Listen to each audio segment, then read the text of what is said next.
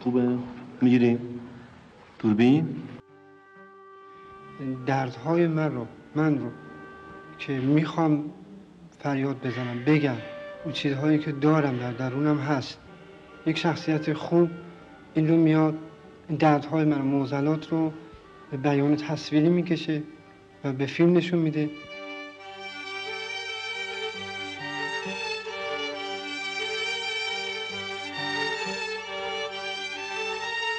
پلان یک برداشت دو تو عوض کن فکر تو دنیا رو عوض کن خوش ببین همه. خوب ببین همه چی را. Rien n'a changé ici. Mais toi, toi a changé.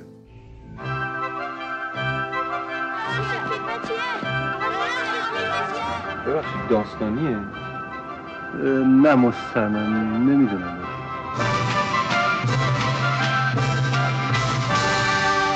در واقع برای اینکه جواب درستی به شما داده باشم بهتره بگم که فیلم نیست میشه. یه کار تحقیقیه یه